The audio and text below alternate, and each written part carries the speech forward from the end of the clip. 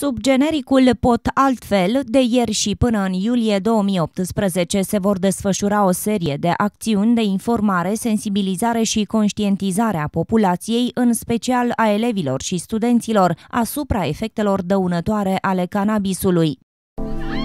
Totul a început cu un fum. Am crezut că am controlul.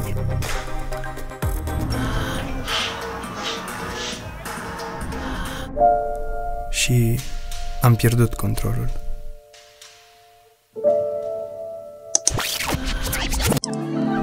Cred că pot altfel. Pot altfel. Campania se desfășoară în perioada 5 septembrie 2017, 26 iunie 2018, zi în care se marchează Ziua Internațională de Luptă împotriva traficului și consumului ilicit de droguri. Cannabisul conține o substanță psihoactivă responsabilă de efecte grave pentru organismul uman. Potrivit specialiștilor, abuzul sau intoxicația cu cannabis poate reduce capacitatea oamenilor de a funcționa normal. Părinții ar trebui să fie atenți la uh, echilibru, deși își pierde echilibru.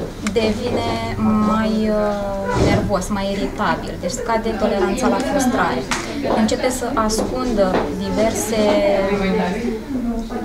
mă rog, lucruri, că deocamdată părintele nu știe ce ascunde și încuie camera.